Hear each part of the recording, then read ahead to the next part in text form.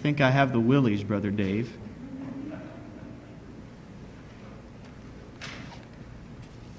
I'm not quite sure what to make of that comment that uh, Brother Dave made about the connection between the term willies and the state of Missouri. Um, I happen to be born and raised in the state of Missouri, so I'm not quite sure how to take that. This uh, Hoosier pride is something uh, of a unique sort, but uh, it's Brother Dave's birthday today, so I've got to be nice to him. Um, you know, I do respect the state of Indiana. Uh, you know, when I when I asked the Lord for a, I said, Lord, you know, I'm eventually going to need a, a good woman beside me. So he, he, he answered my prayer. He gave me a woman from the state of Indiana. So there must be something good about this state. One good thing about the renewal, you know, that I always enjoy uh, more than anything, perhaps, is the fellowship that we have uh, that we don't always get to have through the, through the year. Some of the brethren that we see every year is just we see once a year. And I really enjoy the fellowship that we have together. Amen. You know, some people are close enough to God that the activity of the wicked in the, in the earth bothers them. I know a lot of people that really kind of have a, a, who cares, ho hum attitude about uh, things like that, but anybody that has a ho hum attitude just isn't close enough to God to care. Many of the Psalms are written from that perspective. The psalmist, whether it be David or some of the other writers of the Psalms, they were very upset and, were, and concerned about the activity of the wicked and that, they, that justice would be done in the earth. And, uh, but sometimes uh, I feel that way, but at other times I feel tempted to, uh, to become discouraged also about uh, the wicked and those who are, uh, are rebellious against the Lord. And I, sometimes I feel like the writer of the 73rd Psalm. this is, it wasn't David that wrote this psalm, but, but sometimes I feel like this. Sometimes I feel like the wicked are getting all of the good things, and God's people only suffer. Have, you ever felt that way? Here's what the writer of the 73rd Psalm says He says, For I envied the arrogant when I saw the prosperity of the wicked. The wicked are doing good. That something isn't right here. They have no struggles. Their bodies are healthy and strong. They are free from the burdens common to man. They are not plagued by human ills. Therefore, pride is their necklace. They clothe themselves with violence. From their callous hearts come iniquity. The evil conceits of their minds knows no limit. They scoff and speak with malice. In their arrogance, they threaten oppression. Their mouths lay claim to heaven, and their tongues take possession of the earth. It doesn't look right. There are some things now that just simply aren't fair, necessarily, that just simply haven't been made right yet. He continues in verses 11 and 12 of the 73rd Psalm. They say, How can God know? They rebel against God, in other words. Does the Most High have knowledge? They think they're getting away with something. Uh, many, many people, the wicked, think I can do whatever I want without any, without any consequences. I can just live my life however I want. M- many people believe that. In verses 13 and 14, the writer says, Surely in vain have I kept my heart pure, in vain have I washed my hands in, in, in innocence. Now, I'm trying to live godly and and nothing good's happening to me, and here the wicked are just uh, doing whatever they want, and they're prosperous. something isn't right here.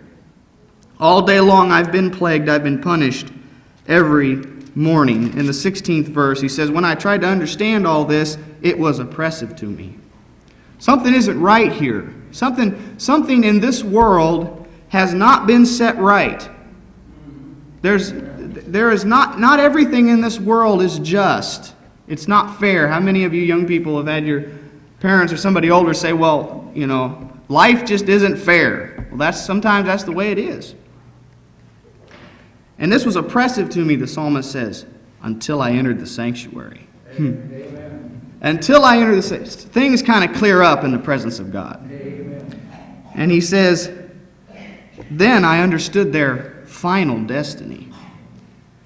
Surely you've placed them on slippery ground. You cast them down to ruin. How suddenly they are destroyed, completely swept away by terrors. The wicked have their day now, but our day is coming. Our day is coming. The psalmist goes on. I love the end of this psalm. He says, I was senseless and ignorant. I was a brute beast before you. Now, there are some things that we just don't understand about justice and about uh, why the wicked aren't punished and why the righteous suffer. There are some things we simply don't understand. But he says, Yet I am always with you. You hold me by your right hand, you guide me with your counsel, and afterward you will take me into glory. Whom, uh, whom have I in heaven but you? And earth has nothing I desire besides you. My flesh and my heart may fail, but God is the strength of my heart and my portion forever. Those who are far from you will perish. You destroy all who are unfaithful to you. But as for me, it's good to be near God. Amen. I have made the sovereign Lord my refuge. The wicked may have their day now, but our day is coming. My reward, my, uh, my sermon is entitled, His Reward is with Him, and my text is Revelation chapter 22 and verse 12. Revelation 22:12, Jesus himself speaks these words. He says, "Behold, I am coming soon. My reward is with me, and I will give to everyone according to what he has done." I'll also read verse 13. I am the Alpha and the Omega, that's the beginning and the end, the first and the last, the beginning and the end. His reward is with them. You know, God still makes a distinction between the righteous and the wicked. There is a distinction that is made, even in the world today. And certainly when the Lord comes again, there's going to be a very sharp distinction made. Uh, to, that's an understatement, of course, between the righteous and the wicked. I think God has built, if you'll allow me maybe to philosophize a little bit about this, I think God has built into the world the concept of a reward for our deeds. This is a concept that's, that's even present in the world. Even we kind of expect that. It's just kind of built into this natural order and this, this system that's in the world. You do something, you get a return. If you, if you work uh, at your job, you expect a return from that. If you don't get paid, you get upset because it's kind of worked into this world order. The, the concept of deeds and reward. Works and reward is built in. It's also, I think, a part of our sense of justice that's built into the divine image that man still bears. This has already been said, I think, by some other brethren, but even though uh, we're marred by sin, we still bear the image of God. And the scripture says God is just. He is just. And I think our sense of justice is derived from that image of God that is still that is still present in man that we also have a sense even though sometimes our sense of justice is warped by sin not everything is just as i was saying before. But because man still bears the image of god we have this sense of justice that some works deserve something like this some works deserve something like that. It's a sense of justice that's still present in the image of god in man even in unredeemed man. We all seem to sense that a day of justice is coming when good works will be rewarded and wicked deeds punished. I think that in some ways, in, in a limited sense, even unconverted, even people who are not of the family of God in the earth, they kind of, in some ways, have a sense of this. They may not tell you that, they may not admit that, but this sense of the end, this sense of final justice, I think, is built in and woven into our uh, natures. We kind of sense this. God has put eternity in the hearts of men, Solomon said. We have not experienced the final reward and judgment yet. It hasn't come yet. It's only going to come when Christ comes. And as I said before, some things are not fair in this life. Good works often go unnoticed and unrewarded in this world. And evil deeds often go unpunished. Just look at the state of affairs in our own government right now. It looks like sometimes people get away with things in this life, and in many ways they do. Our reward is not in this life. Christ has a reward for his people, but that reward will be given in its fullness only when Jesus returns and not before. He is bringing a reward with him when he returns. I love this. He calls it his reward. Did you catch that in the text? He says it's his reward. My reward is with me. And he says, and I will give it. Christ personally, in the flesh, in person, if you will, is going to hand out this reward when he comes again to his people. Yes, he is also going to bring judgment for the wicked. The wicked are going to get what they deserve at last. When Christ comes again, there's going to be justice on the judgment day. But the righteous are also going to get what they deserved. And that's kind of the aspect of this truth that I want to develop. There are two sides of this coin, in some ways. There's judgment talk in this text. In Revelation 22 12, he says, My reward is with me, but then he says, I'll give to every man according to his deeds. That's uh, judgment talk. That's like what Paul said uh, to the Corinthians we all must appear before the judgment seat of Christ to, to give an account of deeds done in the body, whether they're good or whether they're bad. That's judgment talk. But uh, the, top side of this coin that I want to discuss is the reward that Christ is bringing for his people. That's, that's what I want to focus upon today the reward for the righteous. I want, to, I want to look at three aspects of this truth. First of all, his reward is earned. Secondly, his reward is exclusive. And thirdly, his reward is eternal. So, first of all, his reward is earned. Now, obviously, before I get into this text, I want to clarify something, perhaps a little disclaimer. I'm not saying that we earn our salvation in any sense. This reward I'm talking about, folk, is, is an inside view. This, this reward I'm talking about that Christ is going to bring, this is for people, this is for people that are already in. This, is, this reward I'm talking about is, is not held out to people who are not already in the household of faith. And so I'm certainly, when I say that his reward is earned, it's, it's not that we're working towards our salvation necessarily. And I, I, I want to clarify and develop uh, some of those things. I just wanted you to be aware of that. His reward is earned. His reward, I think, is earned by our works. And I think the Bible does teach this. Again, I'm not saying that we, we earn our salvation. A reward is given to you because of something you did. That's just the nature of a reward. It can't be called a reward otherwise. Otherwise, it's not a reward, it's a gift. if something is given to you and you didn't do anything to earn it, that's a gift. Now, salvation is called a gift of the grace of God, but, but the reward I'm talking about is not quite on the same level as that.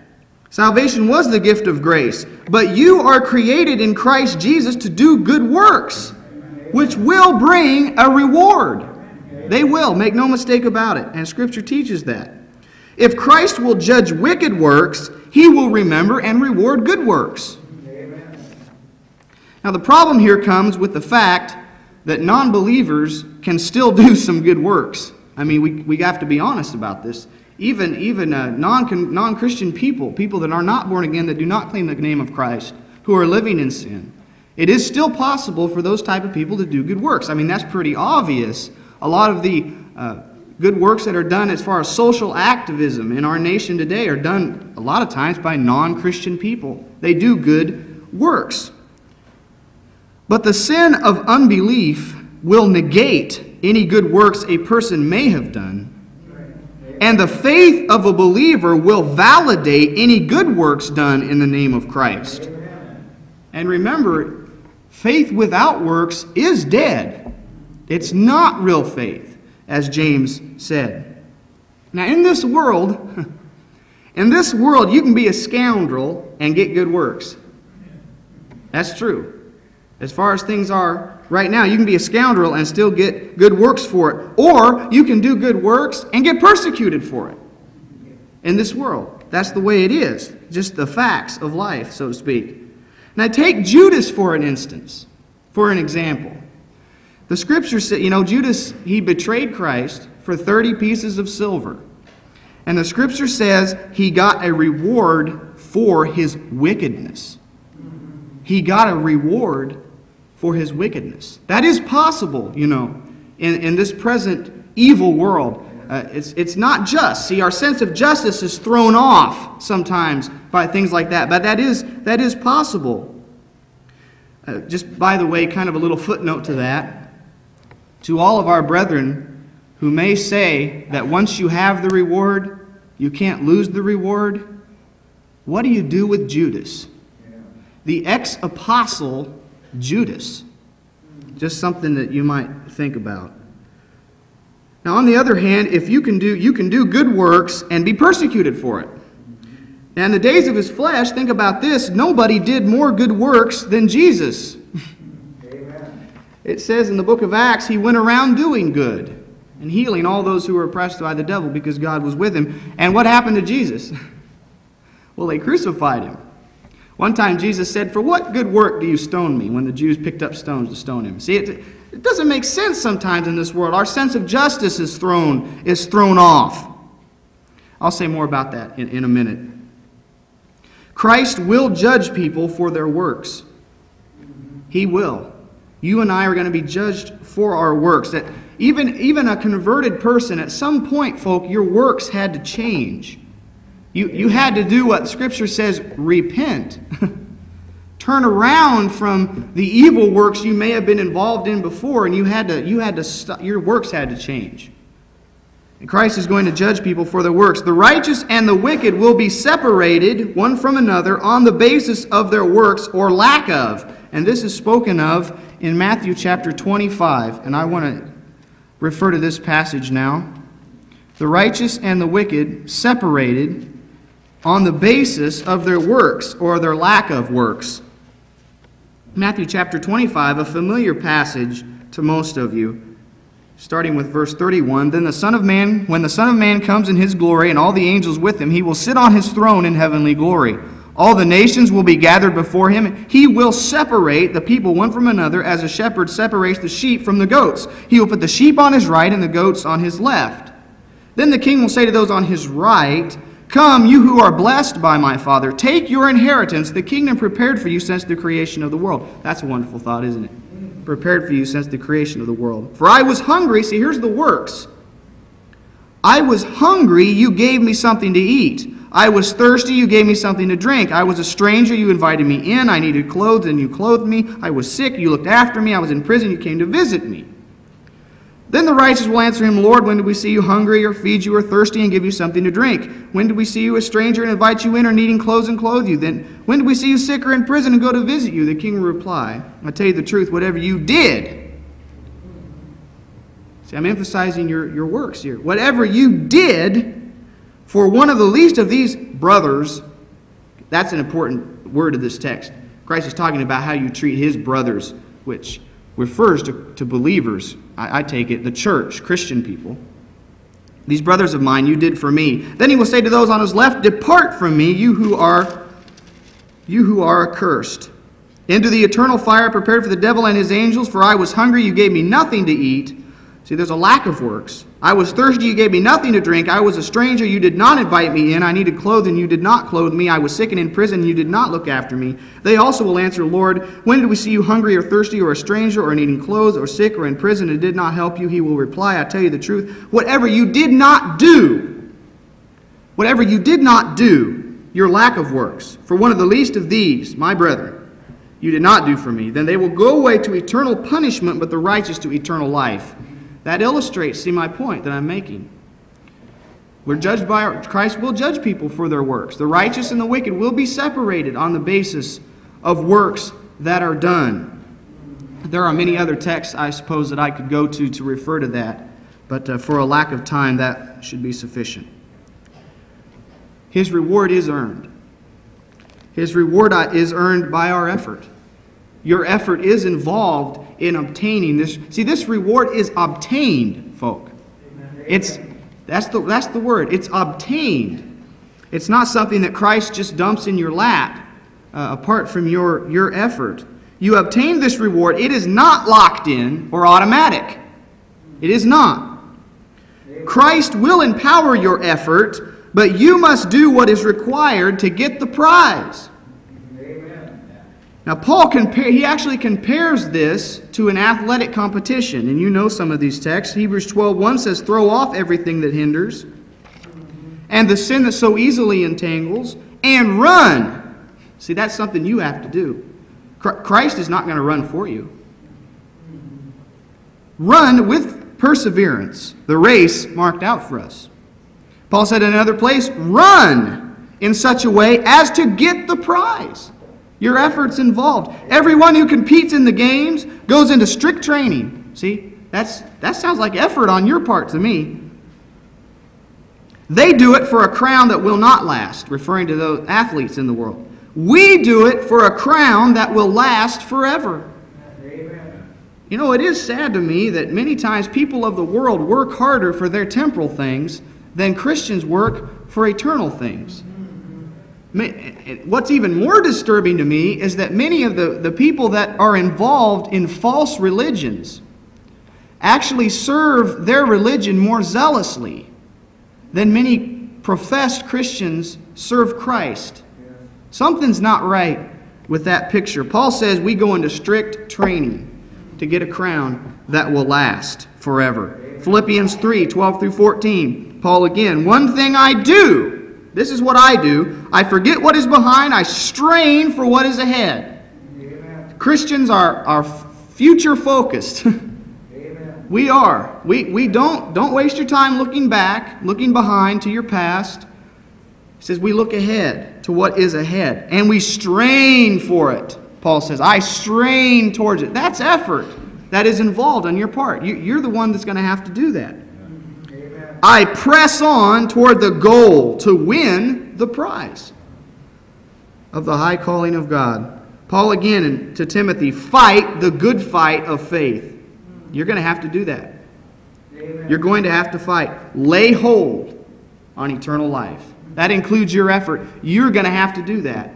Christ offers it to you, folks. Make no mistake about it. See, God's gra- in God's grace, He's offering this to you. That's grace. But uh, by your faith and your effort, you, take, you lay hold of this reward. That's how, it's, that's how it works. See, a believer who is spiritually lazy cannot expect to get the reward any more than a lazy athlete can expect to win in his sport. We have an adversary who will take our reward from us if possible.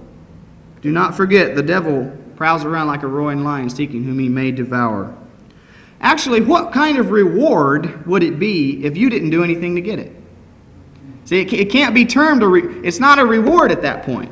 Like I said before, it's a gift. If somebody gives something to you and you didn't do anything, to earn it. It's not, it can't be called a reward. It could be called a gift or a present or whatever, but not a reward. So, what kind of reward would this be if, if you weren't involved? That's what I'm saying. If you're not involved in this thing, what kind of reward would it be? It wouldn't mean very much, I don't think. This reward is earned, I think, also by our suffering. By our suffering. Now, do you actually think Christ would let his people suffer for his name and not reward them? If we suffer with him, we will also reign with him. Christ is not going to forget the trouble that you and I have to endure while we are in this world. And all of our afflictions, all of our troubles, all of our suffering will bring a reward, not just persecution. Amen. 2 Corinthians 4:17 says for our light and momentary troubles are achieving or working for us an eternal glory that far outweighs them all. If you put suffering on a scale and glory on a scale, you put suffering that you might have to endure and this reward that Christ is offering to you, put it on a scale, the reward is going to outweigh any, any suffering that you and I might have to go through in order to get this reward. Now, Jesus knows how you feel. Jesus knows how you feel because the scripture says that he endured the cross for the joy or reward set before him. So Christ knows exactly how you feel when you suffer. Now, how could we endure trials and tribulations if we did not know about a reward? How could you endure when you're in the midst of an affliction? in the midst of persecution, in the, in the fire of suffering and pain in this world, if you didn't know about this reward, if you didn't have this sight and this vision, this goal, this prize ahead of you, how could you endure? How could you? Maybe, just maybe, people drop out of the church in times of trouble so often because this reward's not held out to them enough That's just a theory. Now, we don't all suffer the same things or even the same amount, but the Scripture does say we must go through many hardships to enter the kingdom of God. Persecution also will not be forgotten by Christ. Make no mistake about it. Amen. Blessed are you when people insult you, persecute you, and falsely say all kinds of evil against you because of me. Rejoice and be glad, for great is your reward in heaven. Persecution is not going to be forgotten. What about those holy martyrs? What about them? The martyrs, the people who died, were killed for no other reason than the fact that they belonged to Christ. You think Christ is going to forget about them? No, sir. He is not. John, in the book of Revelation, he saw those holy martyrs under the altar, he says. It's, it's in Revelation 6 and verse 9. And they, see, they had this same feeling of justice, this, this unequal justice. They had this even after death. Before Christ came, they, they cried out and they said, How long, O Lord, till you judge the inhabitants of the earth and avenge our blood? See, this same, this same uh, unequal justice in the world even affected these martyrs after they were martyred, before Christ came. Persecution is going to be remembered. Those who die for their faith have a great reward coming. Amen. Now, persecution, folk, could come here just by way of application this morning. This is always possible. Persecution could come here, and it, it does disturb me in our culture, in our land, when I see a growing animosity toward Christians. This is, this is something's going to happen. I, I don't know what it is. I don't claim to be some sort of, of prophet that can prophesy the future or anything, but, but something's going on, folk, in our land. I don't sure, I'm not sure where it's going to go, when it's going to take place, but if you read the signs of the times in our culture, there is a growing animosity toward the church and toward Christians, toward people who don't compromise. See, our culture, the only thing that they don't, that they don't like is people who won't compromise. See, the only thing they won't put up with is people that won't compromise. And uh, there's something, there's something coming. And I ask you this morning, if you didn't know you had a reward, how could you die for your faith? How could you do that? I think of the, those four Hebrew children, as the Negro spiritual says, that they, they, they went into the fiery furnace. They told King Nebuchadnezzar, but if not, I see they, they had to have known that they had some sort of reward on the other side. I don't think they could have just gone through that just because they had to. How could you die? Some of us here may have to die for our faith. I don't know what the future holds. Are you, are you going to be able to do that? I'm saying you won't be able to do that unless you have this reward firmly in grasp and in your sight. You will not be able to lay down your life any other way. Hebrews chapter 10 speaks about uh, persecution that may come and how Christians are to react. And he connects this with the second coming. Hebrews chapter 10. You know, all of you are familiar with this passage. Hebrews 10:32 Remember those earlier days after you had received the light when you stood your ground in a great contest in the face of suffering. Sometimes you were publicly exposed to insult and persecution. At other times you stood side by side with those who were so treated. You sympathized with those in prison and joyfully accepted the confiscation of your property because you knew that you yourselves had better and lasting possessions. See, that's a person who knows that they have a reward. So do not throw away your confidence. It will be richly rewarded. You need to persevere so that when you have done the will of God, you may receive what He has promised. For in just a very little while, He who is coming will come and will not delay. But my righteous one will live by faith, and if he shrinks back, I will not be pleased with him. Don't give up in the face of trial and suffering and persecution. Your confidence will be rewarded by Christ. Secondly, my second point here this morning his reward is exclusive. His reward is exclusive. I'm talking about the reward he has for his people, uniquely, exclusively for his people. The wicked will be rewarded with hell. That's going to be their reward, if you want to call it that. Now, most of the time, eh, the way we use the word reward, that has a, a positive connotation to it. We, the other side would be punishment. The, like the opposite of a reward would be punishment. So the wicked are going to be rewarded with punishment, with, with hell, the lake of fire. Not everybody is going to be saved, folk. No matter what, the one brother was preaching yesterday about uh, Brother Wallace, about some of these uh, scholars that we, so called scholars, that we have in the church today. And one big doctrine that is, that is prevalent in a lot of uh, denominational churches is universalism, in case you didn't know that. This idea that somehow everybody's going to be saved. God just loves everybody the same. It's, it's not true. It is a lie. Some people are going to be thrown into the lake of fire. Some people's works, the end, see, the end of your works is one of two places. Your works have an end. It's either going to be a reward from Christ or it's going to be the lake of fire. Amen. Make no mistake about that. The wicked will be rewarded, if you can call it that, with hell. But Christ has a, a reward exclusively for his people, a special reward for his people. This reward is for his servants. This reward is for people who served him in this life, maybe at great personal expense. They served Christ in this life. You see, in the kingdom of God, there's a high priority placed on servants. People who serve Christ are the ones who are going to get the reward. Even Jesus, as Brother Seth so eloquently put it in his message, Jesus was a servant. He served. And if you want a reward from Christ, you're going to have to serve like Christ servants. His reward is exclusively for his servants.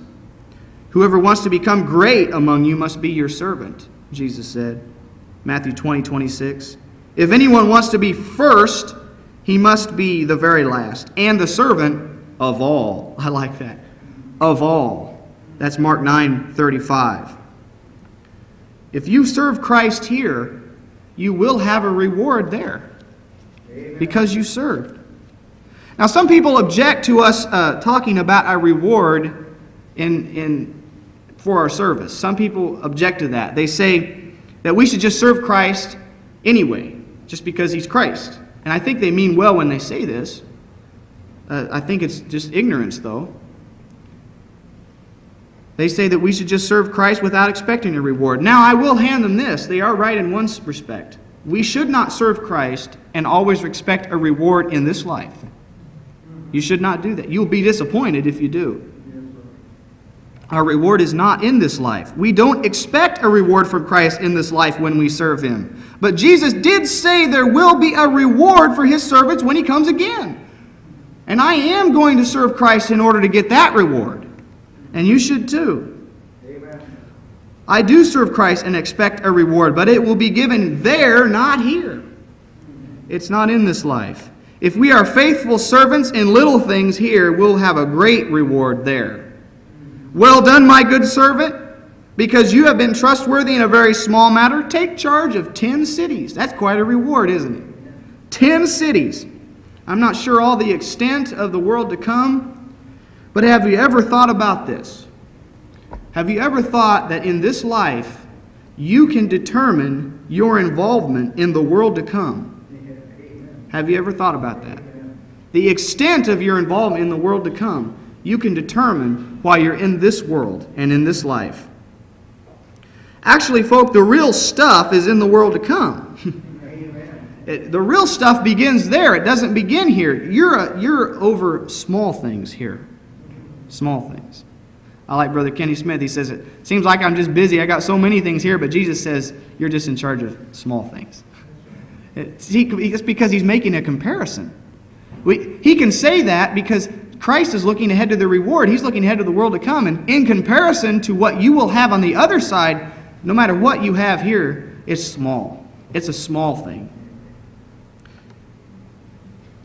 This is one reason why I really dislike this health and wealth doctrine that somehow has become extremely popular in the church in our day. This teaching that if you serve Christ in this life, that you'll be rich and that you'll have an expensive house and car and he'll bless you in material things. And, and it's all a lie. It really is. Because uh, this, see, this pins people to the earth. If, if, it is, if it is taught that you can get a reward in this life for what, how you serve Christ, it immediately focuses everybody's attention in this world. And that, that is deadly to, the, to faith. Amen. Because our reward is in that world. You, you need to be focused on the reward in that world. And if you're blessed in this world, that's fine. It's a stewardship. Amen. But uh, this, this health and wealth talk is, is not good for the body of Christ. So, just a question to throw out that, that I'm not necessarily going to answer in maybe to all of your satisfaction. Will our rewards all be the same? This is maybe a point of, of, of uh, maybe disagreement among some, some people at this point. I'm not sure I can answer this totally. How I do have a theory. I don't think our rewards are going to be the same. Because in that parable that I referred to, where the, the good servant was given 10 cities, there was another servant only given five. And there was one guy who was judged because he was not a good servant of Christ. So I do not think that all our rewards will be the same in the world to come because not all of us have been entrusted with the same thing in this life. Amen. If you try to please men, you will have no reward from Christ. Amen. You will not. If you focus, now obviously, if you please God, you'll please God's people. But if you focus your attention on pleasing men, you will, you will erase your reward from God. You will have no reward from God. I want to refer to the Sermon on the Mount, Matthew chapter 6. Jesus talked about this very thing.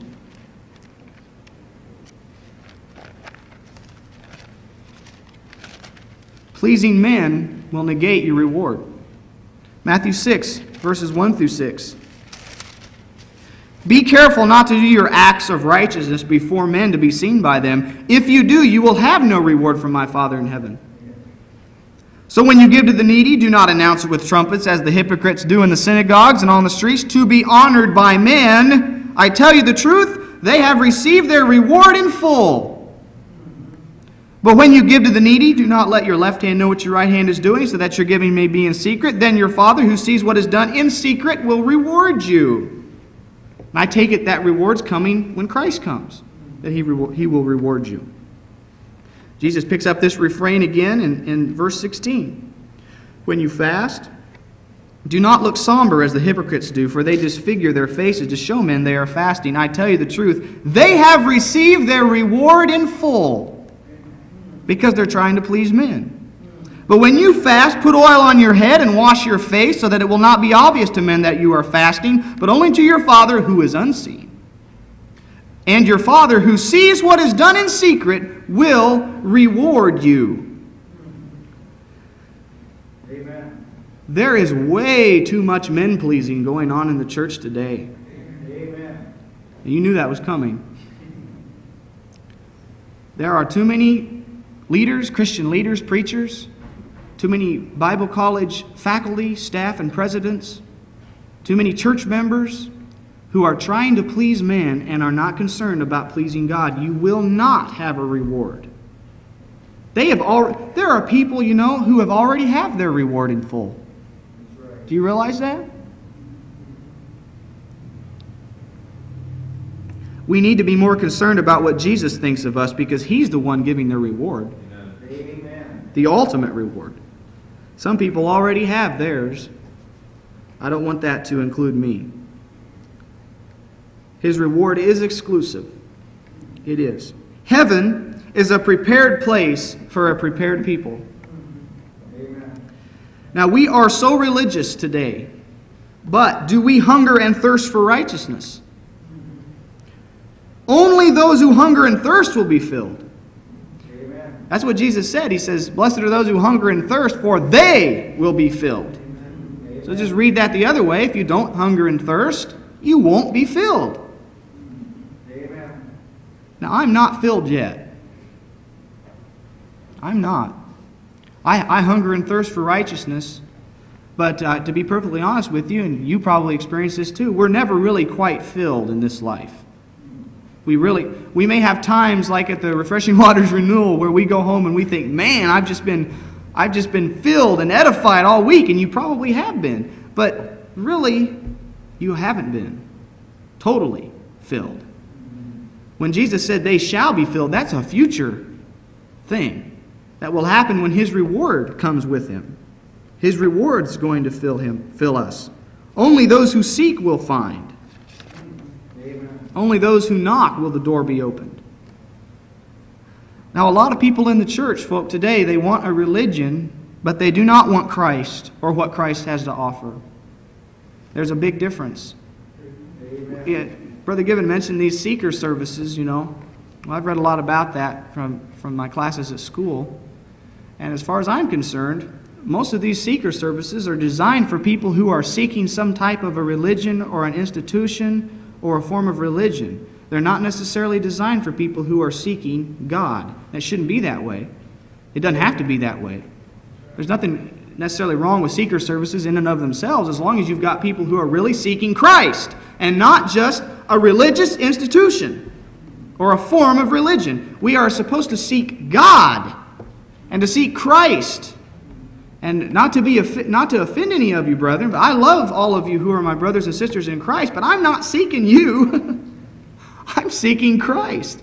You're not going to reward me. Christ is going to reward me. Now, here's an interesting aspect of this.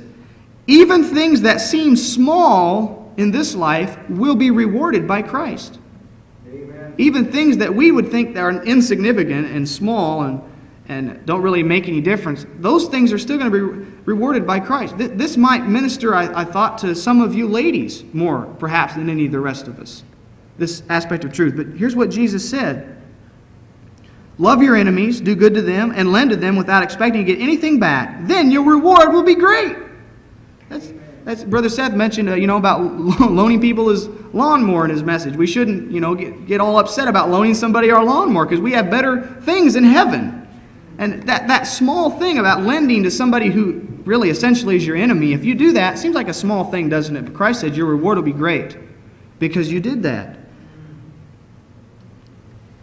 See, what the world calls small may not be small at all, Amen. as far as Christ is concerned. That's in Luke 6:35. Then your reward will be great. Let me look at Matthew chapter 10.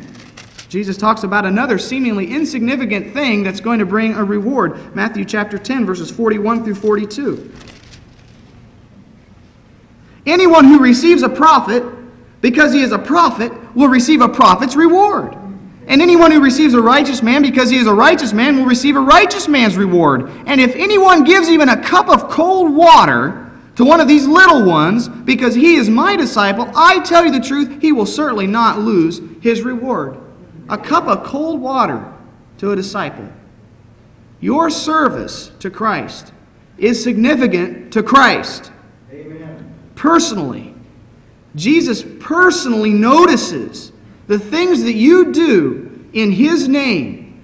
And no matter how small the world may think it is. See, some of you ladies probably may think, well, I can't preach, I can't do this, I can't do that. Even some of you gentlemen who perhaps don't, uh, don't have the abilities or the desire to lead a congregation in preaching think, ah, what, you know, what do I do? What, what can I do? I'm nobody. I haven't been to Bible college. I haven't been to seminary. I'm just a nobody. Well, you're not just a nobody. Because even the little things that the world doesn't even notice, Christ notices. And He's going to reward those little things that you do. Just the, just the, the, uh, the Christian gift of hospitality that Paul writes, he always writes to the Christian and says, Be hospitable with one another. Why do you think he, why do you think he writes that? Because Christ notices those things. There'll be a reward for that. Some of you ladies who've been cooking all week for us, and, and uh, that those of you who have served to get this building ready, don't think for a minute that, that Christ didn't notice that. He did. He noticed that. It may be small to the world, and it's not going to be printed in the newspaper tomorrow, you know, that, that uh, Sister so and so cooked a meal at the First Christian Church. The world doesn't notice, but Christ, He notices. Amen. I think there are more preachers that need to think about 1 Corinthians 3 15, 14 through 15. This is an interesting passage that many Christian leaders, church leaders, and preachers and teachers in the, in the church probably need to think about this text more. Paul says, If what he has built survives, he'll receive a reward. If it's burned up, he'll suffer loss. Now, what Paul's talking about, if you read the context of this passage, Paul's talking about the fact that he's a builder and he's adding to God's church converts. And he makes the application to, to preachers and leaders in the church. He says, Be careful how you build. Amen. What kind of converts are we winning anyway? See, preachers and teachers, myself included, if you win converts, true converts, kind of interesting what people call converts today, you know. If you really win people to Christ, if they last till the through the fire of judgment, you'll get a reward for that. If they don't last through the fire of judgment, you'll lose that reward that you could have had. That's what Paul actually says. So I think a lot of preachers and teachers don't really think about that text. What kind of converts are we winning? People who will finish or people who will fail? If they finish, preachers and teachers, if you're people who, whom God has given you charge over in the church, if, if you preach to them and you convert them, if, if they finish this race and enter into glory, you'll get a reward for that. If they, if they don't make it, you won't get a reward for that. You'll lose a reward that you could have had for your work. Sometimes it seems when I preach, I preach for nothing in return. Brother Dave, do you ever feel that way? You just you, you preach, you preach, you work, you work, nothing happens. You preach, you preach, nobody listens. You preach, you preach, your church doesn't grow. You, you work and you preach for nothing. But that isn't actually the case. I often, when I get to feeling that way, I, I often think about those Old Testament preachers, or we call them prophets. You think you have a hard ministry. I think about the prophet Ezekiel, or some of those other, Jeremiah, or some of those other holy prophets of the, of the Old Testament days. They felt that way too. Do you know that? Some, several of the Old Testament prophets, in, in their times when they preached and they were rejected, they felt that way too. Here's what Isaiah said. I, I was uh, edified by this. Here's what Isaiah said about his ministry. He says, I've labored to no purpose. You ever felt that way? I have spent my strength in vain and for nothing. Yeah, preachers, teachers, you ever said that before? Here's what Isaiah says, though Yet, what is due me is in the Lord's hand. And my reward is with my God. Don't expect, preachers, teachers, don't expect to be rewarded when you preach. You, you may have some converts, you may have a, you may, church may grow, but uh, your reward is with God. Your, real, your true reward. There have been a lot of holy men and women in the past, especially under the Old Covenant, who served God but had no reward in this life. They're going to be rewarded too with you. Did you know that? Amen. Just think of Moses. It says he, dis, he regarded disgrace for Christ. Christ hadn't even been born yet. He regarded disgrace for Christ as greater value than the treasures of Egypt because he was looking ahead to his reward. Amen. How are you going to be able to make it through this world and not get caught up in this world order and in this materialism that's, that's so prevalent here in our land? You better have your eyes on the reward. Moses did. He forsook the treasures of Egypt, which at that time that was the greatest empire on the face of the earth, just like America might be today. He, he, he said, I just I don't care about that because he was looking ahead to his reward that he had from God. in uh, Hebrews chapter 11, some another text about these holy men and women of the past who served God in this life but really didn't get a reward for it. They're going to be rewarded. That's, that's my point.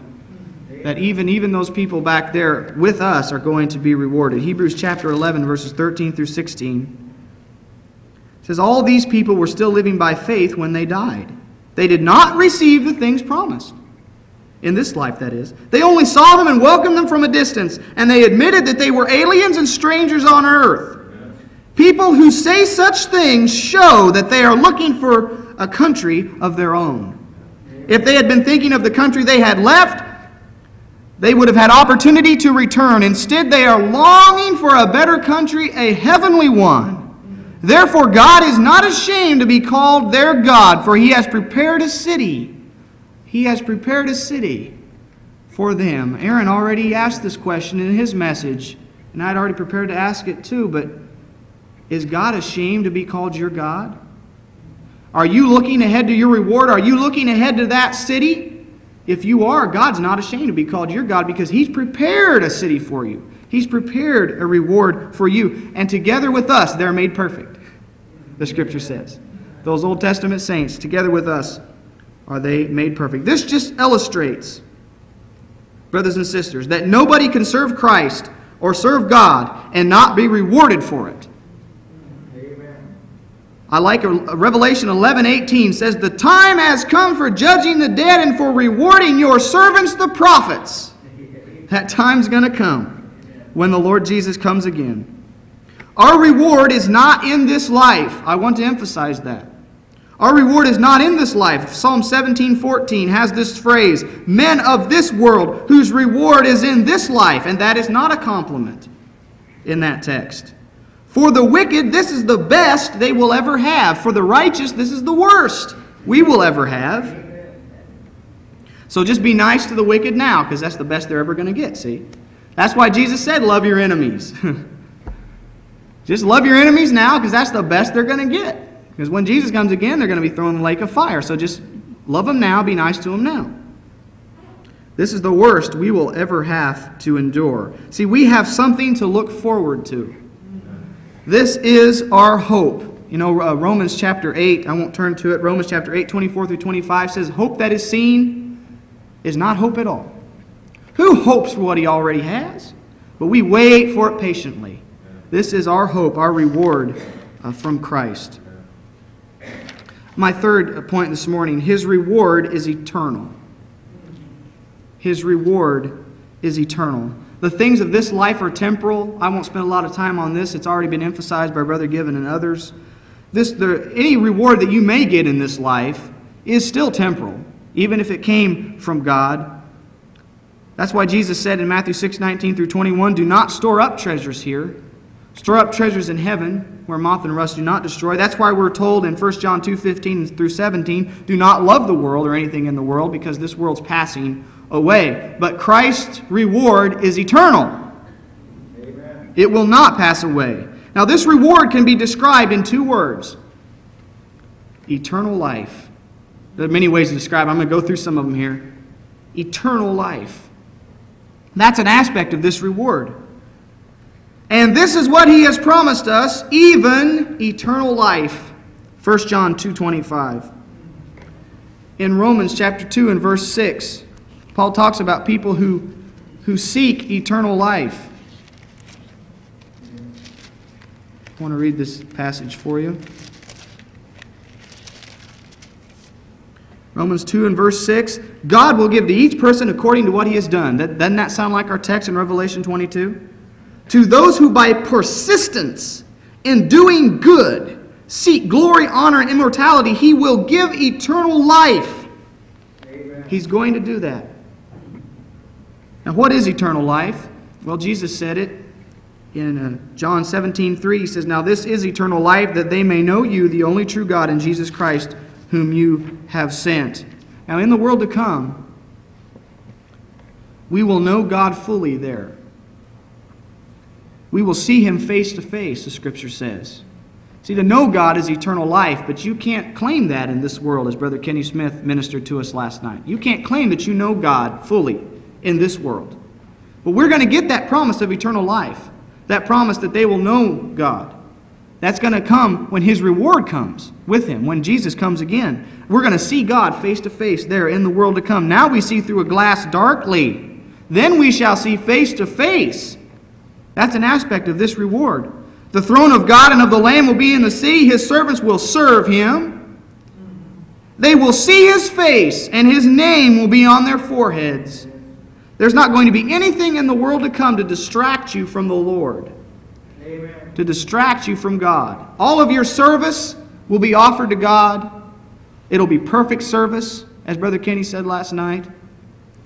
His name will be on your foreheads. You won't think about anything else except the Lord, except serving God. That, that's a reward worth looking for.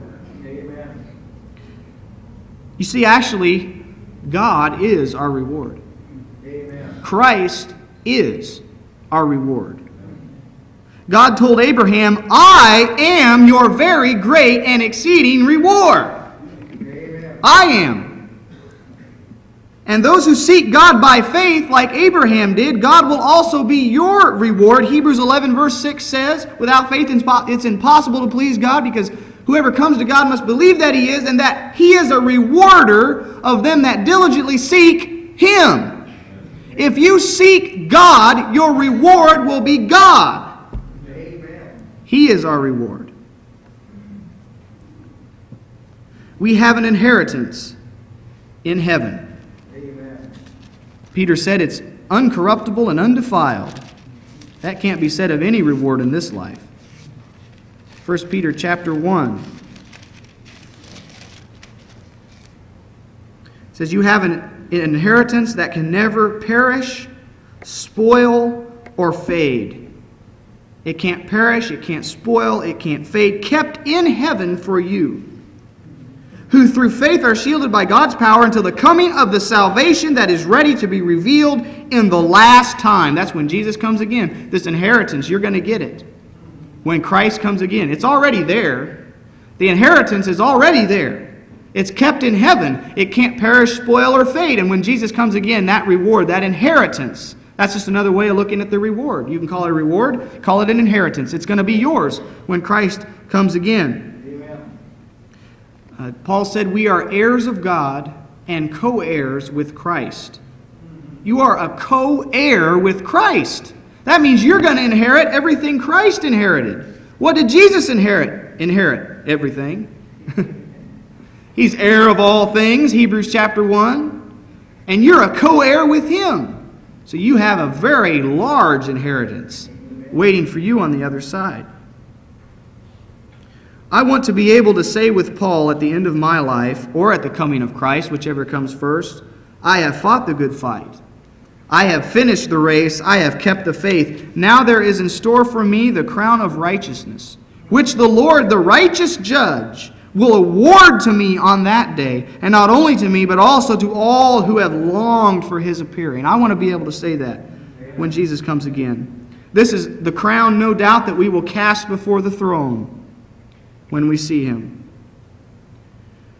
You know, we're finally going to get to rest in the world to come. You get to take your armor off. The scripture says, Blessed are those who die in the Lord from now on. Yes, says the Spirit, they will rest from their labor, for their deeds will follow them. That's part of your reward. Amen. There remains a Sabbath rest for the people of God. We don't have it yet, but we are going to receive it when He comes with His reward. We're going to receive the kingdom at last. Now, you have the kingdom now, in, in, in a sense. You're in it now, in a sense. But when Christ comes again, you're going to have it. You're going to receive the kingdom. This was prophesied in Daniel chapter 7. It says, But the saints of the Most High will receive the kingdom and will possess it forever. Yes, forever and ever. The time came, verse 22 of Daniel 7, the time came when they possessed the kingdom. That's going to happen. You're going to get that kingdom. We're receiving a kingdom that cannot be shaken. Amen.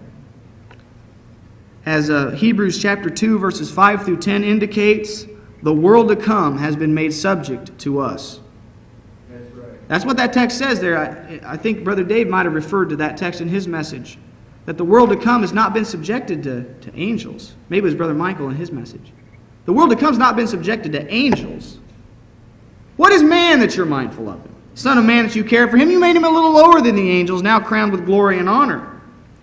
says, but we don't see everything made subject to him yet. But we see Jesus, who was made a little lower than the angels, now crowned with glory and honor because he suffered death, that by, the, by his death he might taste death for every man.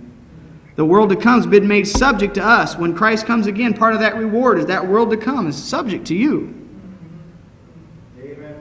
Even, think about this, even our resurrection bodies will be a type of a reward. It's like, you get a resurrection body, it's like Christ is going to say, you know that vile body that you had, that you had to put up with this whole life? You know that vile body you had that you had to keep in subjection your whole life? Well, here's a new body. It's kind of, that's part of our reward, you know. Amen. In conclusion, we have a small glimpse of our reward now by faith. We can taste of the powers of the world to come. All the things we experience now in Christ are the first fruits of our redemption. The Holy Spirit is the down payment of our inheritance. The joy and the love and the fellowship with the saints and the good word of God and everything else we experience is all but a small glimpse of this reward that is up ahead when Jesus comes. I got to be honest with you, not everything about this reward is known. There are some aspects of this that we still won't know until the Lord comes again. We know just enough to whet our appetites Amen. and to keep us in the race. You see, this reward is our motivation to endure. You have this reward out in front of you. That's your motivation, your incentive, if you will, to keep running the race and to endure and to persevere. There's a song that I've liked in the past that I like to, that I like to sing, and here's the words to that song. It says, It will be worth it all when we see Jesus. Life's trials will seem so small when we see Christ. One glimpse of his sweet face all sorrow will erase. So daily run the race till we see Christ. Now, some people say it'll be reward enough just for me just to see him. You know, and in a sense, that's true. I understand that. And some people say that they would be satisfied, you know, just having a little shack in the corner of glory. But I'm not satisfied just with those things. I'm not. I'm not going to be satisfied with just a little shack in the corner of glory. And I want to see Christ, but there's even more to it than that, folk. As Brother Dave ministered, seeing Christ is going to be a, an indescribable event. But Jesus said, I'm coming, and my reward's with me.